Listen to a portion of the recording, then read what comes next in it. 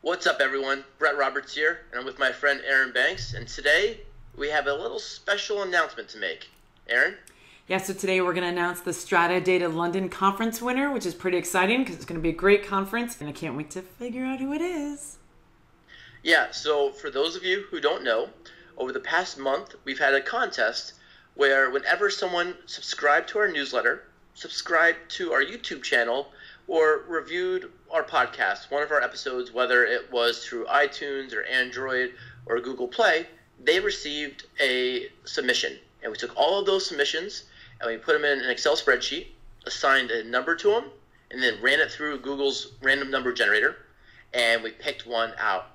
And without further ado, we are going to announce who's going to be able to spend a week in London. Again, we, we're providing the pass, you provide everything else, but at Strata Data. Just the pass. So, Aaron, who is the lucky winner?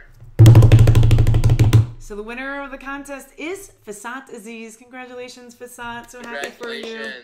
Yay! You're gonna go awesome. you're going to London. Well, you're, you're getting a pass for a conference that's in London. So I'll be reaching out to you tomorrow via email, the email you used to subscribe to the newsletter. But for those of you who didn't win, thank you so much for subscribing. Thank you so much for liking. We are going to have other contests throughout the year, fun, exciting ways to engage with us and to win cool passes, cool stuff.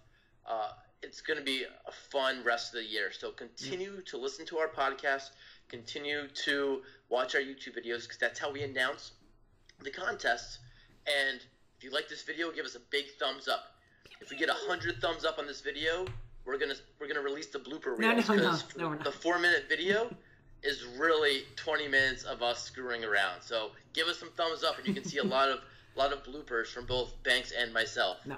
Yeah, on a happy note, I'm going to uh, announce that we just released a podcast with the Calgary Sports and Entertainment team. So Brett and I did that podcast. It was really great. It was like absolutely like loved it. So hope you'll have an opportunity to listen to the podcast and make sure again to subscribe because then you won't miss out on any of these uh, great stories that we have to tell. Yeah. So again, thank you everyone for your support and your continued uh, viewership, and we look to uh, look forward to future winners. Thanks. Bye. Bye thanks.